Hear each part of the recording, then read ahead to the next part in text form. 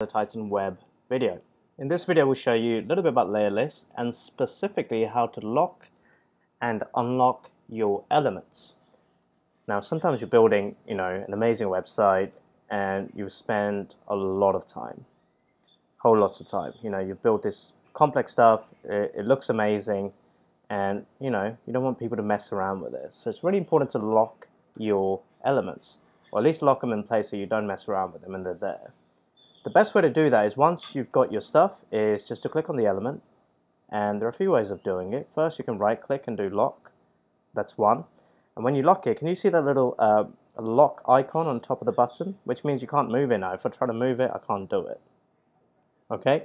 And subsequently, if you want to unlock it, you just right click again and unlock it. Very, very simple. So lock, unlock, simple as that. And you can do that anyway. You can click on this one and do lock, and you can even batch unlock it. So click over here, click over there, and then just go ahead and lock it. Every time you lock it, you will see that little icon of lock there. Now, if you want to unlock them, if you click on view over here and show layer list, you've got something um, called a strip. And each of the strip, obviously, you'll have different buttons like that.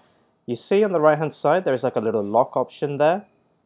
If you click on it, it will unlock. Alright, now I can move this button anywhere I see fit.